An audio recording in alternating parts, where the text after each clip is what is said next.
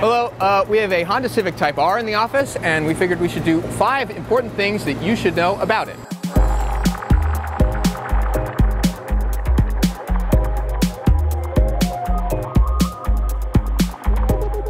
My favorite thing about this car, among other things, is that it has a brake pressure gauge, which I've never seen on any other car.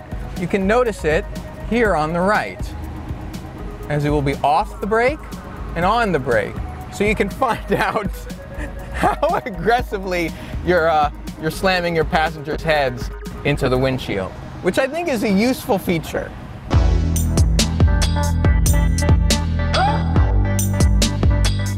So this car has three exhausts.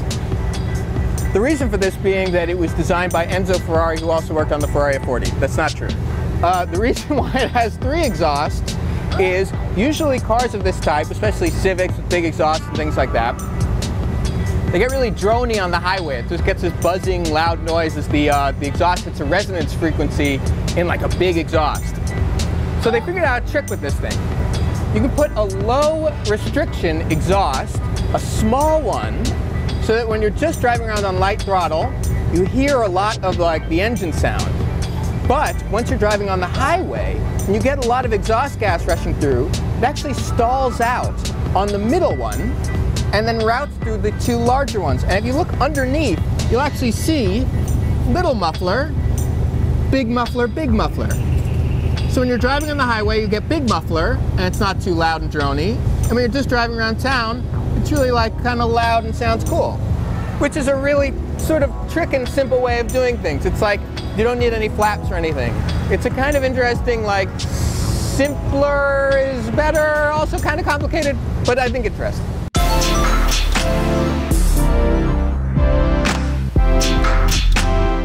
But you see, it's this really slick little thing, and it's just very, I mean, if anyone tells you it's like slotting a rifle around, they're lying to you.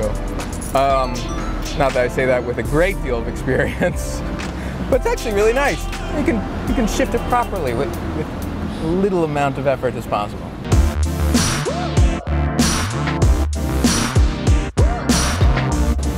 It's a performance car, and as such, it's a, you know, it's a modern performance car, and as such, a lot of the work is done with the tires. In this case, we've got 245s, which is pretty wide, but in a day of Mustangs coming with 305s, it's not huge. But importantly, it's only 30 section tires, which is, which is what means that it's, you know, this skinny. and what that means is this constantly anxiety provoking when you're driving around because it's not a very low car, but every pothole, every bump is filled with worry that you're going to blow out a wheel and a tire. So that's a big part of the Civic experience.